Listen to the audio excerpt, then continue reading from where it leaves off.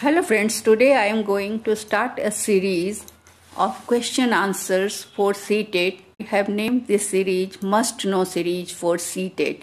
So every student who is appearing for CTET or other competitive examinations must go through it.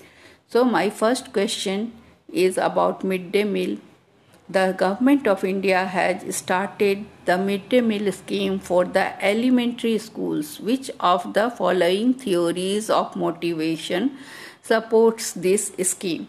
So you have options behaviorist, socio-cultural, cognitive and humanistic. So answer is humanistic.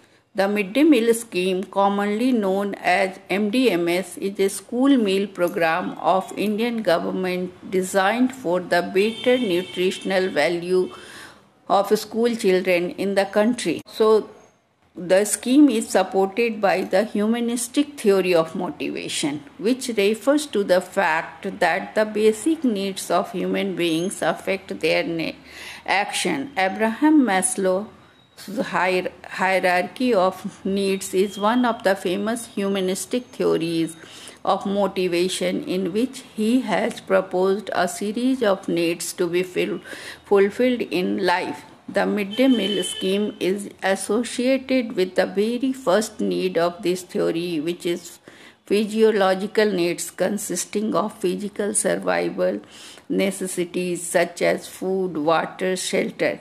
Hence, it could be concluded that the midday meal scheme is supported by humanistic theory of motivation. This question is associated with the theory of motivation. So, you have to mention which theory is associated with this. So, it is humanistic theory.